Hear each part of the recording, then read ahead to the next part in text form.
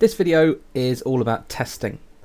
So why do we test? Well, the main reason why we test our programs is to make sure that it does what it should do and it meets the needs of the end user.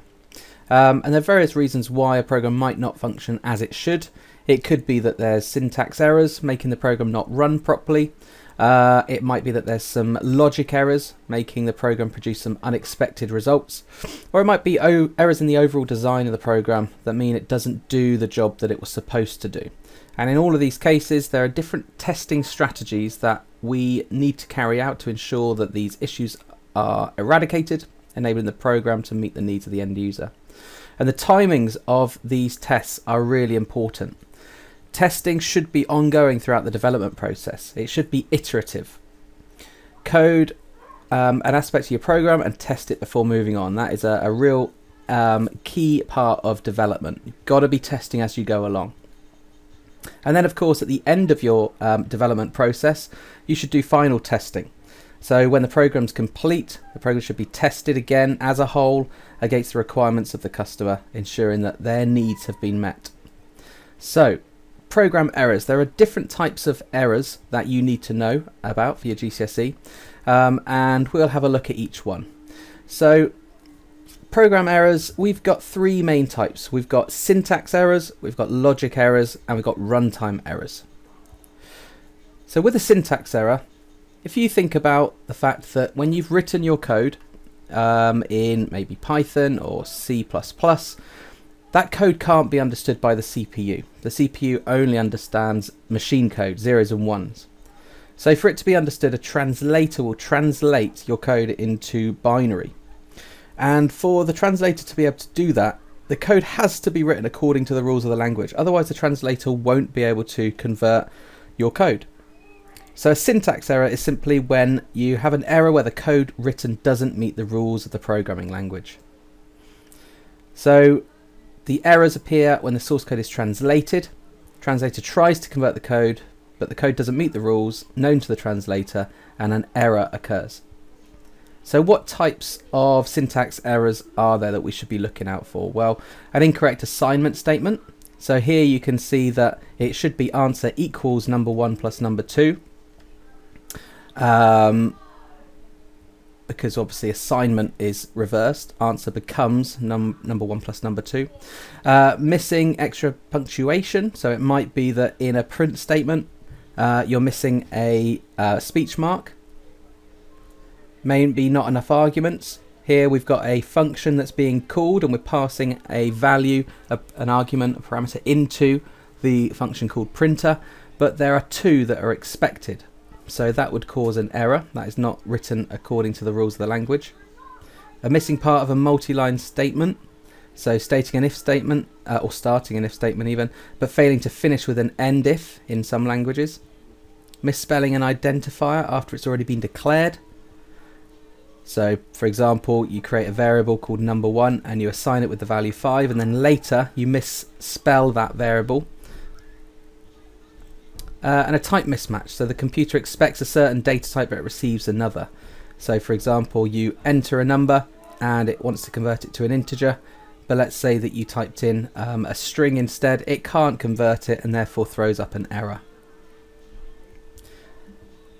So some IDEs have translated diagnostic and highlight potential syntax errors, and some might even correct them. But these can be erroneous in themselves, so programmers should always check first. So logic errors are another type of error. Now, logic error is where the code is written according to the language, but it still produces unexpected results, or the program itself, once it's been converted, when run, will produce unexpected results. And it's simply because there is an error in the logic of the program. It doesn't do what it should do. So a common logic error is an incorrect math statement. So for example, um, if a programmer wrote time divided by distance when calculating the speed, the program would output a value, but it would be incorrect because speed equals distance over time. So these can be harder to spot because programs will actually compile and run. This is up to the programmer to spot when the outputs are not producing the expected outputs. So we need to test against expected results to ensure that the program is free of logic errors. Other types of lo logic error are wrongly ordered instructions, wrong conditions for an if statement, or iterations. And then we've also got runtime errors, and these are very difficult to spot. So when a code is free of syntax errors, so it's been written according to the rules of the language and compiles nicely, and it's free of logic errors, in other words, it still does exactly what it should do, you can still get some errors, uh, and these are called runtime errors. So these will occur in a normal working program if some extreme condition occurs. So for example, it might be that a program gets into a situation where it's to perform an arithmetic which has an impossible answer. For example, you may have a calculation and the user inputs um, a zero um, as the number that we're dividing by. And because we can't divide by zero, we get a runtime error. Or maybe finding the square root of a negative number. So in these situations, if the program has been given data um, which is not possible um, in the arithmetic, then a runtime error will occur. Other example runtime errors are overflow errors. So this is where a variable tries to hold a value that's too big for it. So an integer holds two bytes. So if a larger value is calculated and assigned to that variable, then you get an overflow error. Uh, a solution might be to round the answer temporarily removing the zeros. It's less precise, but at least the number can be stored. And then those zeros can be added later, uh, either when displaying the answer or when carrying on with the calculation. A stack overflow error is another runtime error. So this is where stack space runs out, happens during recursion.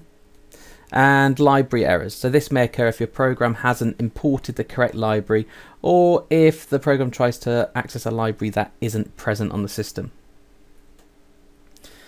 So we've had a look at a range of different errors. Now we'll have a look at some testing strategies, ways that we can test our programs to make sure that we eradicate the chance of any of these errors um, occurring.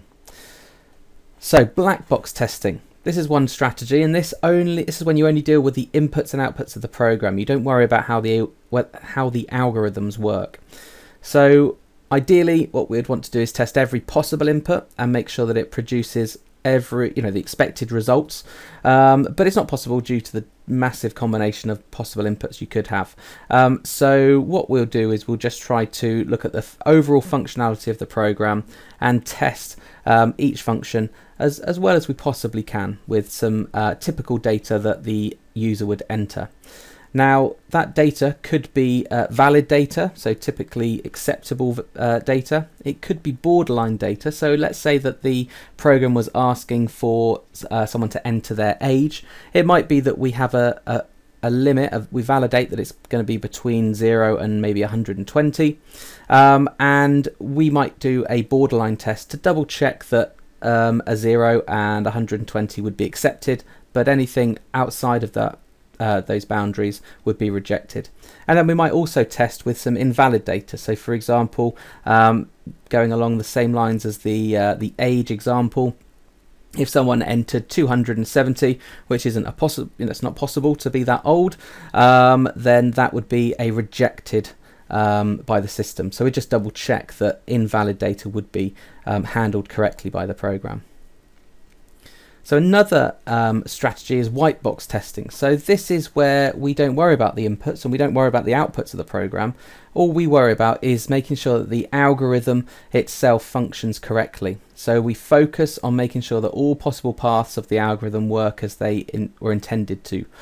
Um, so on each test, the path of the execution is noted and compared with other runs. Each path is determined by the values of the conditions in constructs, such as selection and iteration. Now when it comes to black box testing, a test plan is often a really useful uh, method of doing that. So um, they ensure that systems are fully tested and they document all of the outcomes. Now what a test plan is made up of is test data, the reason for the test, the expected outcome, and then the actual result, which we can then compare with the expected. Um, so we often will have some uh, success criteria for a program, and that success criteria, that's like the main functions that we expect our program to be able to perform. We would then perhaps do some tests to test each of those um, those functions, each of the success criteria.